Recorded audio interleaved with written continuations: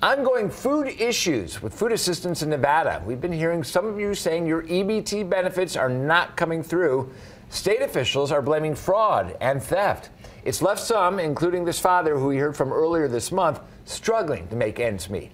My fridge is empty. I have no idea what I'm feeding them. It's I, I grown man bawling my eyes out, not knowing how I'm feeding my kids.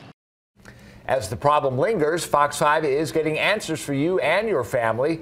What should you do if your benefits have been disrupted?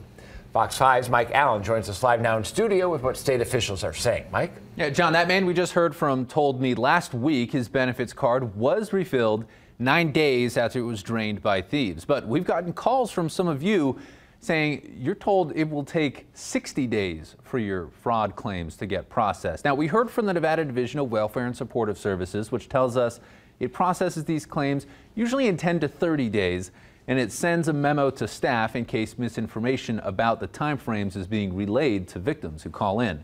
Now, several others have also told Fox 5 the Cambridge Welfare Office near Maryland and Flamingo has been packed with people lately to the point where folks needing help are just lining up as the office opens, but still are being turned away because of the high volume. Now, welfare confirmed that high volume with us and said people who cannot get through are able to conduct their SNAP benefits interviews over the phone once their application is in the system, and applicants for temporary assistance for needy families will get a flexible appointment notice for another day. You can also apply for benefits online. Now, lastly, we asked for an update to the number of claims received. 1,700 active claims right now, although we are told the team investigating has found some duplicates. They're hoping that number is, in reality, a little lower than that.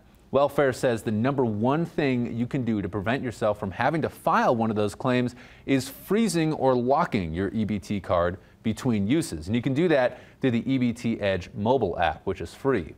Now, a bit of context with the number of claims. Behind me, you'll see before April, welfare was averaging just 200 claims per month. And in just the first 10 days of this month, 1,500 claims, skyrocketing. John, back to you. Mike, thank you. And local officials say resources are available if you're struggling to feed yourself or your family. You can find them at nevada211.org.